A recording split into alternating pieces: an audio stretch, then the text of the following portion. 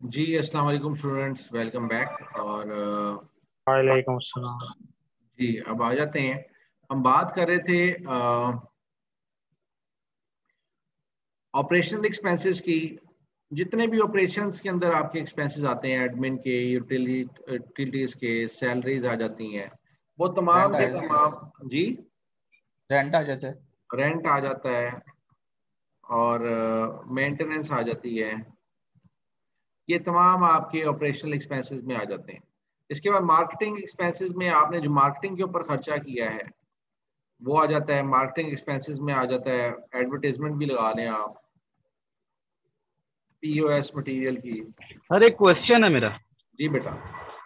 Sir जैसे आप बता रहे थे एफ़ इसमें इनकम स्टेटमेंट में इंक्लूड नहीं होती। अगर उस परस्पेक्टिव से देखें तो सर बीकॉम में हमने जो कॉस्ट ऑफ़ गुड्स सोल्ड वाला किया था सीजीएस वो एक प्रॉपर चैप्टर था उसमें इनकम स्टेटमेंट भी रिक्वायर होती थी। उसमें तो मटेरियल लेबर एफओएच तीनों चीज़ें आ रही होती थी और at the end cost of goods sold निकलता था फिर उसकी मदद से आपने इनकम हाँ, स्टेटमेंट हाँ, बनानी होती थी। बात ये है कि आप ठीक कह रहे हैं बिल्कुल ठीक कह रहे हैं जो आप आपने कॉस्ट अकाउंटिंग की मदद से जो बात कर रहे हैं आप बिल्कुल ठीक कह रहे हैं। मैं आपको ये कह रहा हूँ कि यहाँ पे हमें इसकी ज़रूरत नहीं पड़ेगी एफओएच की। ठीक हो गया ना मैं ये कहने की कोशिश कर रहा हूँ कि हमें अभी कॉस्ट काउंटिंग के अंदर घुसने की ज़रूरत नहीं है। यहाँ पे इतना काफ़ी है ये दो चीज़ें मैंने बता दी आपको इसके बाद आपको जो इसके अलावा आप देखोगे कि पूरे कोर्स में ये चीज़ इस्तेमाल नहीं होगी फैक्ट्री ओवरहेड का। ज़िक्र ही नहीं है इस पूरे कोर्स के अंदर फैक्ट्री ओवरहेड का। तो हम लाजमी है कि हमने वो पढ़नी है लाज इस कोर्स के अंदर। तो जिस चीज़ का ज़िक्र नहीं हो रहा तो हमें क्या ज़रूरत है उसको करने की? अब आप ये देखो बेटा, ये आपके सामने यहाँ पे क्या हो रहा है? कॉस्ट ऑफ़ सेल्स की बात हो रही है। ये देखिए आपकी, आपके पास revenue from contract with customers आ रहा है। उसके बाद कॉस्ट ऑफ़ सेल्स बात हो रही है। ग्रॉस प्रॉफिट आ रहा है। तो सिंपल आपको स्ट्रेट फॉरवर्ड छोटे छोटे एक्सपेंसेस बताए गए हैं। जो मेजर एक्सपेंसेस यानी कि छोटे छोटे हेड्स थे, उनको एक बड़े हेड के अंदर डाल के डिस्ट्रीब्यूशन एक्सपेंस का नाम दे दिया गया। फिर एडमिनिस्ट्रेटिव एक्सपेंस के अंदर बेतहाशा हेड्स होंगे। उनको सारों को एडमिन हेड एक्सपेंसेस करके तो आपको एक सिंपल कंसोलिडेटेड जो है, एक प्रॉफिट एंड लॉस स्टेटमेंट सामने दे दी गई है। आधे सफे की आपकी इनकम स्टेटमेंट है। आपके ख्याल से ओरिजिनली में इतने ही की बनेगी? जब डिटेल्ड आप इनकम स्टेटमेंट निकालेंगे तो वो काफ़ी बड़ी होगी, वो पाँच छह सफों पे आ सकती है। तो एक हमें शॉर्ट करके इतनी बता दी गई है। अव्वल तो अगर आप कहें जी कि आप सर ये कॉस्ट ऑफ़ गुड सोल्ड जो है वो आपने कैसे निकाल लिया तो बेटा ये कॉस्ट ऑफ़ गुड सोल्ड की कैलकुलेशन के अंदर ही जो है ना आधा सफ़ा लग जाता है। ओपनिंग प्लस आप आपको पहले सेल्स को भी देखना पड़ता है कि सेल्स में से आपने नेट सेल कैसे निकालनी है। से, सेल्स माइनस सेल्स रिटर्न आपकी नेट सेल आएगी। उसके बाद कॉस्ट ऑफ़ गुड सोल्ड आप निकालने बैठेंगे ओपनिंग इन्वेंट्री प्लस परचेजेस करेंगे उसमें से लेस करेंगे परचेजेस रिटर्न करेंगे। उसके बाद उसमें आप डायरेक्ट एक्सपेंसेस जो आपने इनकर किए हैं कैरेज इनवर्ट के फ्रेट इनवर्ट के कस्टम ड्यूटी के वो आप फिर उसके अंदर सारे ऐड करेंगे। फिर उसमें से आपके पास निकल आएगी cost of goods available for sale फिर माइनस करेंगे आप एंडिंग इन्वेंट्री फिर आपके पास निकल के आएगी आ, क्या नाम है कॉस्ट ऑफ़ गुड्स सोल्ड फिर उसको जब माइनस करोगे तो ये बहुत लंबी डिटेल में आ जाती हैं चीज़ें।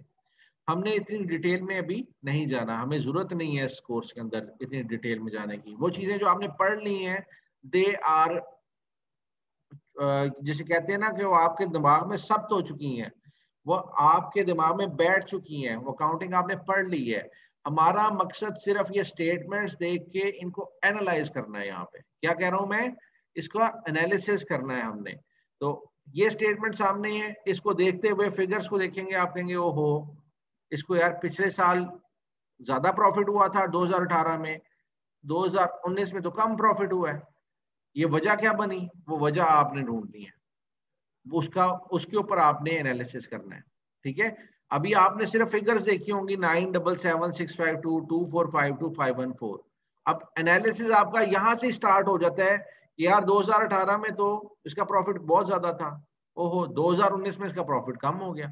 इसके बाद बाकी बात आगे चल जाएगी।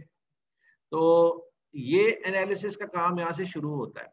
ये आपकी फिगर्स देख के सिर्फ़ वो फिगर्स कैसे कैलकुलेट होके आई हैं वो कहाँ से आ रही हैं फिगर्स उसको हमें ज़रूरत नहीं है देखने की।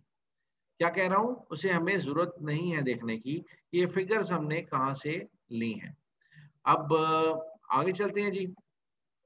आ, ये था जी हमारी इनकम स्टेटमेंट और इनकम स्टेटमेंट में हमें नेट प्रॉफिट या नेट लॉस निकल के आ गया। आई होप के आपका जो क्वेश्चन था वो क्लियर हो गया जी बेटा अब्दुल रहमान अब्दुल रहमान ही बात कर रहे थे आप? अब्दुल रहमान ही सवाल कर रहा था सर जी अब्दुल रहमान जी सर। जी मैंने कहा आप बात कर रहे थे एफ़ की? जी सर मैं ही कर रहा था।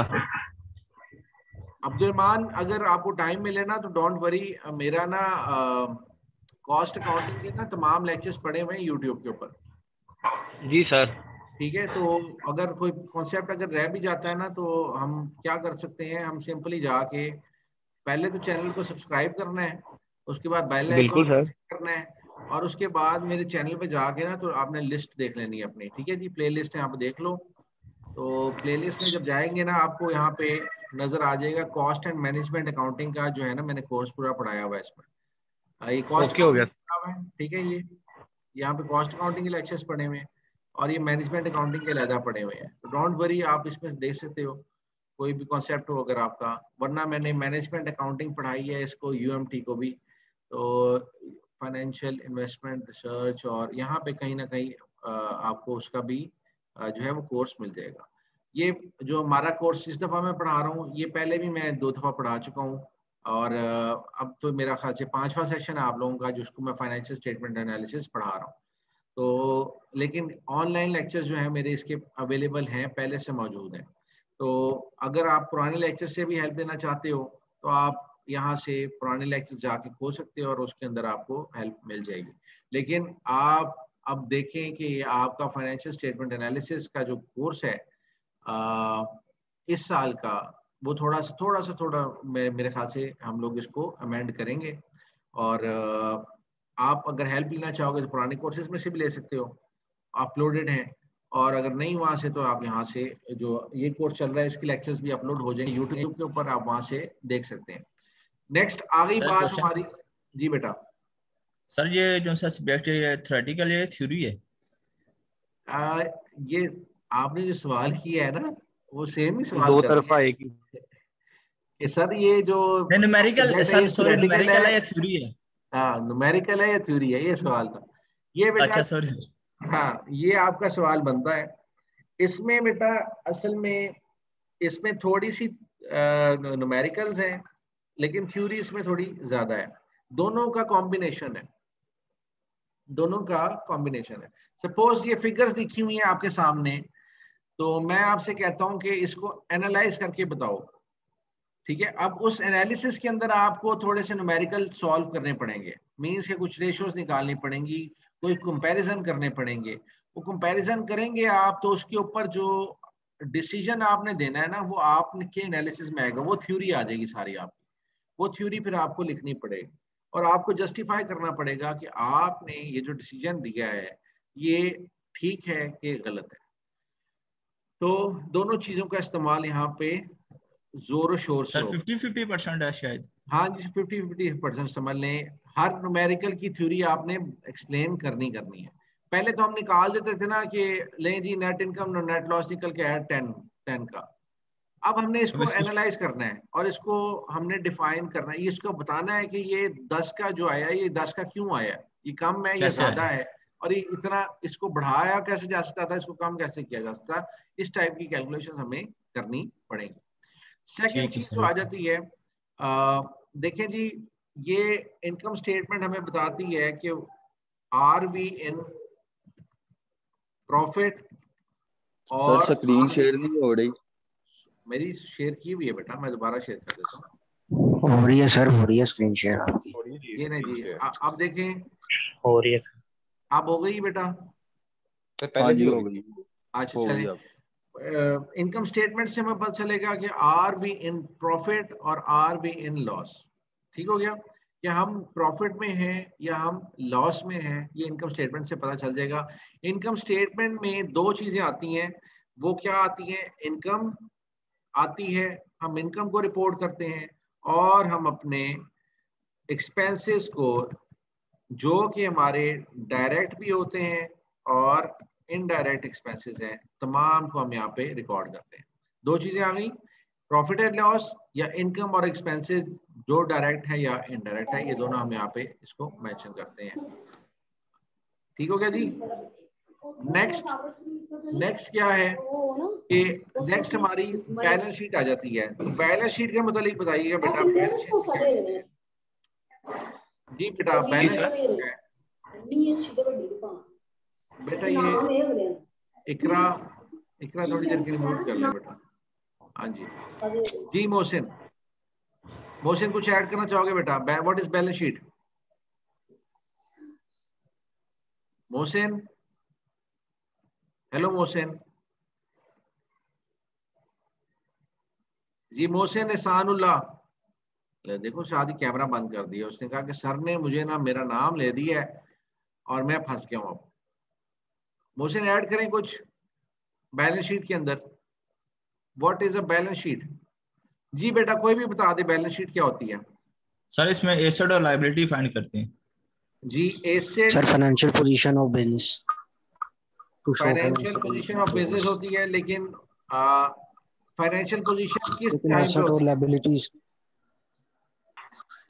सर इसमें वो एसेट और अच्छा सर ऐसे स्टेटमेंट जिसमें सर ऐसे स्टेटमेंट जिसमें एसेट्स एंड लायबिलिटीज देखते हैं और कैपिटल देखते हैं ऑर्गेनाइजेशन का आ, आ, किसी पार्टिकुलर वक्त में और जो इसकी डिटेलिंग दे रही होती है balance of income and expenditure की।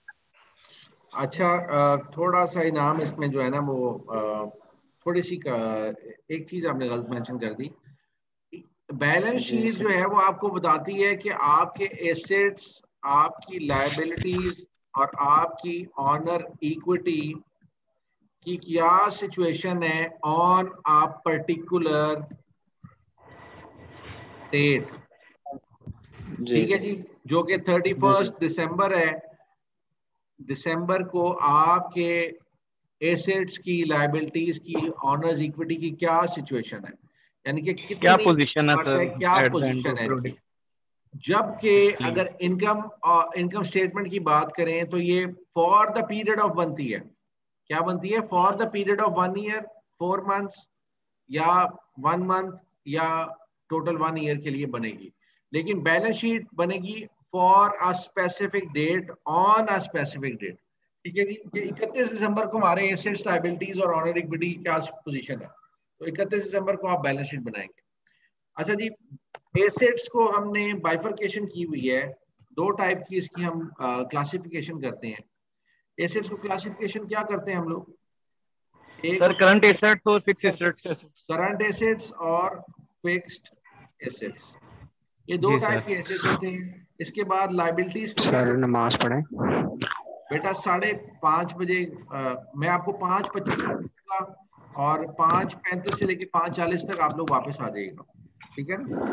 सर इधर वो टाइम जमात का होता है ना सवा पाँच। चलो फिर यार अभी थोड़ा सा चलो आप पढ़ लो बेटा फिर बाद में बाकी सालों को मैं ब्रेक देनी है उस टाइम जी सर। ठीक है जी सवा मैं आप सारों को ब्रेक दूँगा पाँच बज के पच्चीस मिनट पे। ठीक है ना? अभी सेशन स्टार्ट ही हुआ है। तो पाँच पच्चीस पे दूँगा तो पाँच पैंतीस तक जो है आप लोग ब्रेक ले लीजिएगा। क्योंकि मैंने भी नमाज़ पढ़नी है डोंट वरी और लाइबिलिटीज के अंदर लाइबिलिटीज के अंदर दो जो हमारी बाइफर्केशन है या क्लासिफिकेशन हम कैसे कहते हैं लॉन्ग टर्म या शॉर्ट टर्म लाइबिलिटीज या करंट लाइबिलिटीज और जी सर सॉरी क्या कह रहे हैं? सर वो बात कर रहे थे। मैं कह रहा था कि लाइबिलिटीज भी करंट और फिक्स होती हैं। फिक्स का मतलब ये कि करंट और फिक्स होती हैं सर जी? जी सर जो फिक्स्ड होती हैं सर लॉन्ग टर्म चलती हैं वो। जी लॉन्ग टर्म चलती जो आपने विद मतलब के जो आफ्टर वन ईयर भी चल रही होती है लॉन्ग होती हैं। लॉन्ग टर्म लॉन्स वगैरह हो गए जो बिल्कुल ऐसे ही है जी ऐसे ही है बिल्कुल सही कह रहे हैं। और last but not the least हमारे पास यहाँ पे कैपिटल आ जाता है। कैपिटल के अंदर ऑनर्स इक्विटी ऑनर्स इक्विटी कहते हैं इसको जी। इसको मैं ऑनर्स इक्विटी यहाँ पे लिख देता हूँ जी। ऑनर्स इक्विटी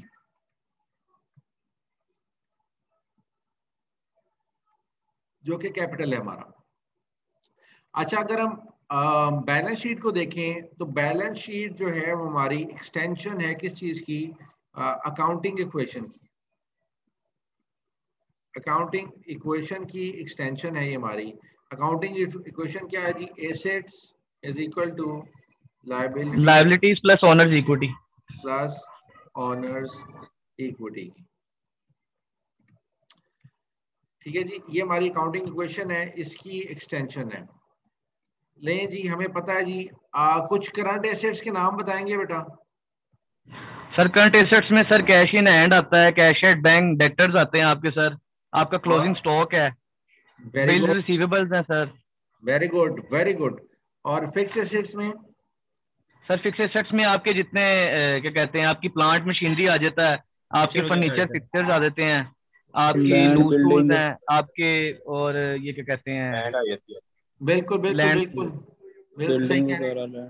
सब कह रहे हैं हमजा भी ठीक कह रहे हैं। और हमजा आप तो मेरे पुराने स्टूडेंट हो ना? नहीं सर। सर अभी नहीं आए हैं। अच्छा ठीक है ठीक है ठीक है ठीक हमजा तारिक में था। अच्छा सर इसी सेशन में है। अच्छा अच्छा अच्छा अच्छा अच्छा। हम asset is equal to liabilities plus owner equity हम हमने अभी देखा कि करंट एसेट्स कौन से होते हैं और फिक्स्ड एसेट्स कौन से हैं। इसी तरीके से करंट लाइबिलिटीज भी बताइएगा बेटा। Sir bills payables sundry creditors हो गए। सर शॉर्ट टर्म लोन्स हो गए। शॉर्ट टर्म लोन्स हो गए ठीक है और अकाउंट्स पेबल भी आ गए इसमें। अकाउंट्स पेबल्स आ गए सर क्रेडिटर्स आ गए हैं। जी बिल्कुल जी बिल्कुल। और सर कुछ आउटस्टैंडिंग ले आए? अच्छा कोई भी आउटस्टैंडिंग एक्सपेंस है वो भी हमारा करंट लाइबिलिटीज में आ जाएगा। लाइबिलिटी में लाइबिलिटीज में सर फिक्स लाइबिलिटीज में हमारा जो लोन होता है मॉडगेज मॉडगेज लोन होता है उसके अलावा लॉन्ग टर्म लोन्स कुछ चल रहे होते हैं। और और सर अभी जेन में यही है। अच्छा चलें और ऑनर इक्विटी सेक्शन में क्या क्या आएगा? सर कैपिटल और ड्राइंग्स आती हैं। और क्या कहते हैं प्रॉफिट वगैरह भी वही आता है जो कि प्रॉफिट लॉस जो होता है। अच्छा अगर हम बैलेंस शीट की बात करें तो इसी तरह तरह से था जी। कैपिटल में से ऐड कर देते थे हम नेट प्रॉफिट को और अगर लॉस होता था तो कैपिटल में से माइनस कर देते थे। और इसके अलावा हम ड्राइंग्स को भी माइनस कर देते थे। फिर अगर एडिशनल कैपिटल आप आपकी आवाज़ बहुत हल्की आ रही मेरी बेटा आवाज़ तो सही है आप दोबारा से कनेक्ट करके देखें। सही आ रही है सर सही आ रही है। अच्छा ठीक है। तो सर ओके आ रही है आपकी आवाज़ मुझे? वेरी गुड वेरी गुड अच्छा मैं एक सवाल पूछना चाहूँगा what do you mean by retained earnings what do you understand और आपको रिटेन्ड अर्निंग का क्या कांसेप्ट है? रिटेन्ड अर्निंग क्या चीज़ है? ये टोटल होती है। एक फिगर होती है मसलन पिछले साल हमारे पास थी दो लाख रुपया इस साल हमने एक लाख रुपया अर्न किया तो वो हम जो हमारे पास नेट प्रॉफिट आएगा वो इसमें ऐड हो जाएगा हमारे फिर रिटर्न तीन लाख हो जाएगी जो रिटेन होती जाती हैं। आसिम आपका कॉन्सेप्ट काफ़ी बेहतर है। दोबारा से इसको एक्सप्लेन करें क्या कहना चाह रहे हैं? दोबारा से बताएँ दफ़ा। सर रिटेन अर्निंग जो टोटल अर्निंग होती हैं जो खर्च नहीं हुई होती जो कंपनी के पास एज ए रिज़र्व पड़ी होती है। वेरी गुड अब कैपिटल का पार्ट होता है। ना। अब आपने सही बात की। अच्छा जी अब आप कहेंगे यार सर ये जो अर्निंग कर करते हैं ये कंपनी ने खर्च करने के लिए या क्या करते हैं इसके साथ? तो बेटा बात ये है कि जब भी अर्निंग होती है ना सपोज़ ये नेट प्रॉफिट हुआ इस साल में दस रुपए का। तो आप क्योंकि लिस्टेड कंपनी है और आपके साथ शेयर होल्डर्स अटैच हैं तो शेयर होल्डर्स को आप क्या ये दस रुपए के दस रुपए उठा के दे देंगे? नहीं सर। नहीं देंगे। हम इसमें से सपोज़ हम कहते हैं कि जनाब हम शेयर होल्डर्स को दो रुपए देंगे सिर्फ़। जी। ठीक है? जब हम दो रुपए दे देंगे तो आठ रुपए हमारे पास बकाया रह जाएँगे। ठीक है जी? ये आठ रुपए जो है ये जाके कैपिटल में ऐड हो जाएँगे जाके नीचे रिटेन अर्निंग के तौर पे। जी जी। ठीक है जी? रिटेन अर्निंग पिछले साल की भी क्या पता पड़ी हो? ठीक है जी? वो पिछले साल की पड़ी होगी उसमें जाके आठ रुपए ऐड हो, हो सकते हैं। तो हमारी टोटल जो रिटेन अर्निंग है वो ज़्यादा बढ़ जाएगी। अब इसके लिए statement of retain earning statement बनाई जाती है या statement of changes in equity जो है वो बनाई जाती है। अब याद रखिएगा कि दस रुपए हमारे पास थे दो रुपए हमने डिविडेंड के तौर पे अपने शेयर होल्डर्स को दे दिए। और जो बकाया आठ रुपए बचे, वो that is kept by the company for use in future company इसको अपने तौर पे इस्तेमाल करने के लिए रख लेती है कि हमें फ्यूचर में ज़रूरत पड़ेगी तो हम यहाँ से पैसे निकाल लेंगे। इसका फ़ायदा ये होता है कि कंपनी को किसी के आगे हाथ झुका सर झुकाना नहीं पड़ता, किसी से पैसे लेने नहीं पड़ते, और कॉस्ट ऑफ़ कैपिटल पे नहीं करनी पड़ती। कंपनी अपने ही रिज़र्व में से पैसे निकाल के उसको इस्तेमाल करती है और जैसे चाहे ये इस्तेमाल कर सकते हैं। तो रिटेन अर्निंग कॉन्सेप्ट भी अब आपका क्लियर हो गया। तो दो कॉन्सेप्ट आज हमने देख लिए। First was income statement second is balance sheet third is your cash flow statement आज हम याद रखिएगा, सिर्फ़ रिवीजन कर रहे हैं। ये चीज़ें हम पहले से पढ़ चुके हैं। कैश फ्लो स्टेटमेंट क्या होती है? जी बेटा cash flow statement what is cash flow statement sir जिसमें कंपनी की डेली बेस की इनकमिंग आउटगोइंग हो रही होती है रिलेटेड टू कैश जिसमें कैश का फ्लो बता रहा होता है। अच्छा। ये कौन था? अब्दुल रहमान है? जी सर अब्दुल रहमान जब भी हम फाइनेंशियल टर्म्स इस्तेमाल करेंगे ना किसी भी चीज़ के लिए हमने फाइनेंशियल टर्म्स इस्तेमाल करनी है तो जो उससे मोस्ट रेलिवेंट टर्म होगी ना हमने वो इस्तेमाल करनी है। अब आई नो कि आपका कॉन्सेप्ट क्लियर है बहुत अच्छा कॉन्सेप्ट है आपका। अब कैश फ्लो के लिए हम जब टर्म इस्तेमाल करेंगे वो कैश इनफ्लो का और कैश आउटफ्लो का टर्म इस्तेमाल करेंगे। ठीक है? ठीक हो गया सर सब्जेक्ट की इंफॉर्मेशन या नॉलेज आपके पास है तो आपने उसका नॉलेज शो करवाना है किसी को भी तो आप जब तक उसकी टर्म्स नहीं यूज़ करेंगे ना उस सब्जेक्ट की, तब तक अगले को पता नहीं चलेगा कि इस बंदे के पास कितना नॉलेज है इस सब्जेक्ट का। वो यही समझेगा कि यार इसके पास जनरल नॉलेज है इस सब्जेक्ट का, और ये सिर्फ़ जो है ना हवाई बातें कर रहा है। या ये एक एवरेज स्टूडेंट था जिसके पास कॉन्सेप्चुअली जो है वो नॉलेज तो है इसके पास, लेकिन टर्म्स इसको नहीं पता। तो कैश इनफ्लो कैश इनफ्लो और कैश आउटफ्लो ये बताता है ये हमें पता चलता है कैश फ्लो स्टेटमेंट के अंदर। अच्छा जी कैश इनफ्लो और कैश आउटफ्लो क्या होता है? ये बताएँ जरा।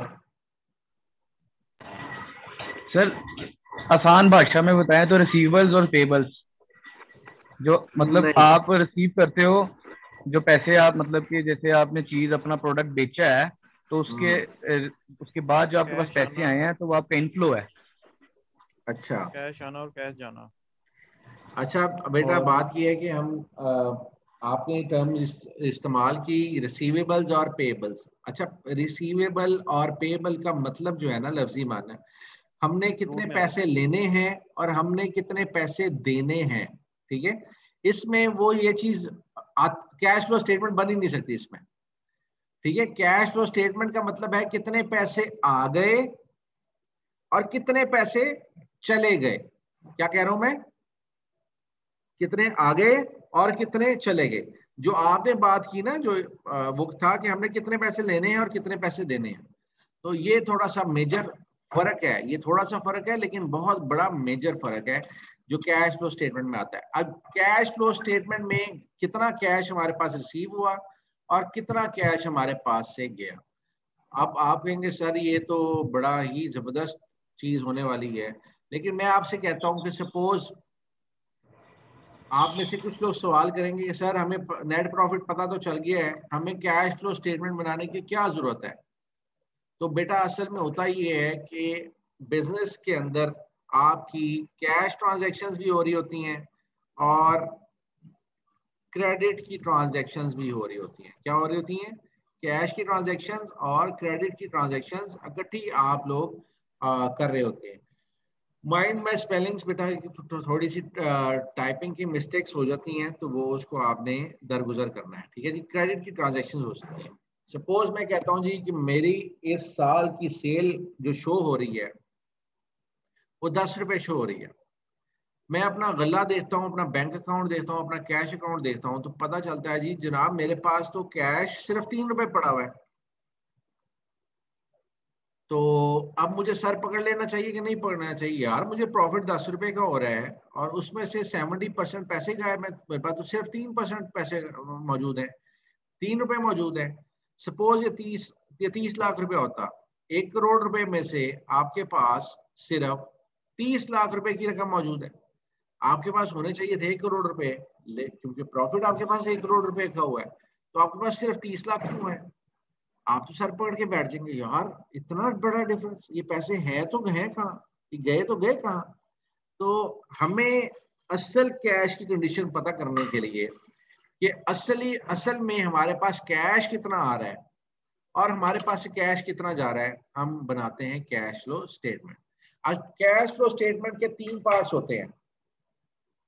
कैश फ्लो स्टेटमेंट के जो तीन पार्ट्स हैं फ़र्स्ट कैश फ्लो फ्रॉम जी? फ्रॉम इन्वेस्टिंग एक्टिविटी आगे cash flow from operating activities cash flow from financing activities और तीसरा है जी cash flow from financing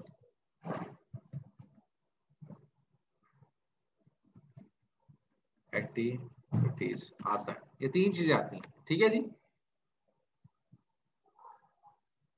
क्या जी?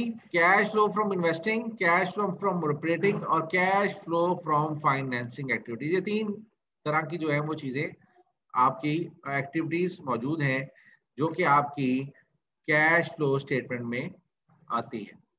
अब कितना कैश आया इन एक्टिविटी से? एक एक्टिविटी से, कितना कैश आया दूसरी एक्टिविटी से?